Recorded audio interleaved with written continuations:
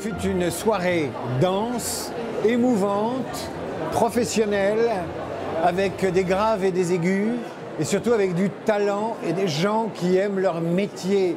Ils sont dingues de leur métier. Et tant qu'on est dingue de son métier, il y a de l'espoir.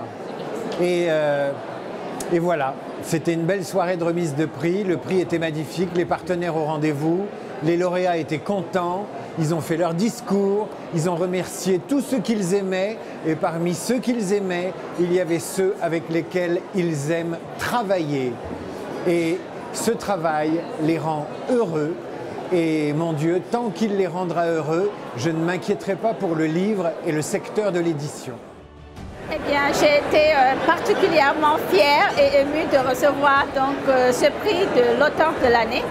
Euh, ce fut une très très belle soirée et puis c'est un prix très important pour moi puisque ça récompense aussi le premier roman que je publie en France et qui obtient le concours des lycéens 2020, Les Impatientes. Je suis très heureux d'avoir reçu ce trophée pour moi, pour ma maison d'édition, pour les auteurs.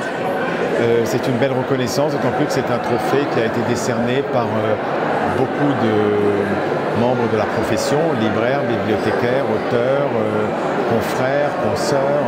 Donc c'est une reconnaissance qui me va droit au cœur. Je suis très fière d'avoir remporté ce titre et d'avoir été élue éditrice de l'année 2021. Il paraît que le prix m'a été décerné pour mon sens de l'innovation, mon goût des nouvelles technologies allié à la passion de la littérature et du roman. Et je suis très fière de partager ce prix avec toute mon équipe et toute la maison d'édition Hachette Roman, livre de poche jeunesse que je dirige.